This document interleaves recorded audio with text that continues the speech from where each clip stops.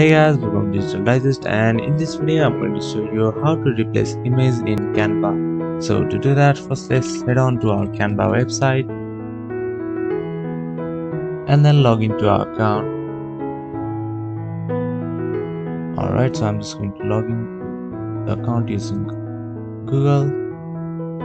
Alright, so we have successfully logged in. So now I'm just going to create a blank project and we already have a template over here.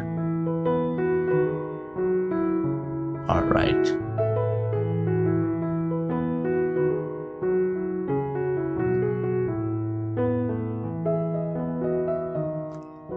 All right. So now all i have to do is go to elements and then search for frame. All right. So we have a frame over here. Click here and then search for another image. There you go.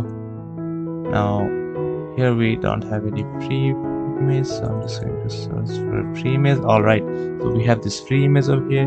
Now all you have to do is drag here and drop it into our frame. And that's all. Now if you want to replace this image search for another image.